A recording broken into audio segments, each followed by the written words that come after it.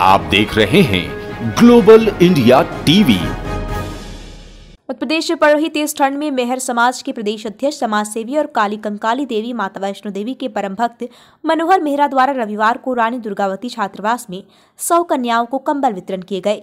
मध्य प्रदेश में उत्तर भारत से आ रही सर्द हवाओं और पड़ रही तेज ठंड और अति ओलावृष्टि के कारण रायसेन में भी कड़ाके की ठंड पड़ रही है।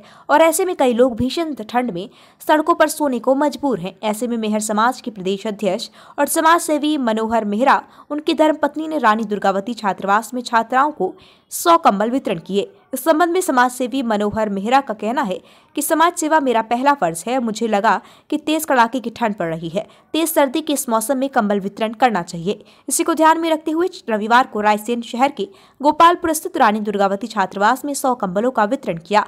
वहीं महात्मा गांधी वृद्धाश्रम, बालक छात्रावास रेन बसेरा और फुटपाथ पर सो रहे लोगों को करीब पाँच सौ कंबल का वितरण कर रहा हूँ और ये समाज सेवा की मिसाल हमेशा जारी रहेगी।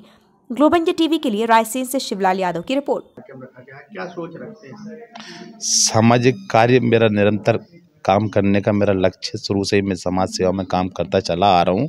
इस बार जब सर्दी मैंने देखी कि रायसेन का तापमान भी माइनस में चला गया, उस समय सर्दी कड़कड़ाकी की पड़ती थी तो मन में विचार आ गया क्यों ना मंदिरों के जो बाहर बैठे रहते हैं लोग बच्चे और सर्दी से डर रहते तो उसी प्रकार में ये बेला भी अच्छा रानी दुर्गावती छात्रावास में भी मैंने जब यहाँ पता करा कि यहाँ भी छात्रा हैं और उनको भी ठंड लग रही होगी तो यहाँ से लिस्ट बुलाई तो तकरीबन सौ, सवा सौ बच्चियाँ हैं, इनको आज यहाँ पे, उसी बेला पे आज हम यहाँ पे कम्बल वितरित करने, मेरे और मेरे साथियों के द्वारा हम कम्बल वितरित यहाँ पे की, इसके बाद में हम रायसेन में वृद्ध आश्रम है वहाँ भी कुछ लोग रहते हैं वहाँ पे जिनको ज़रूरत है वास्तविक ज़रूरत है।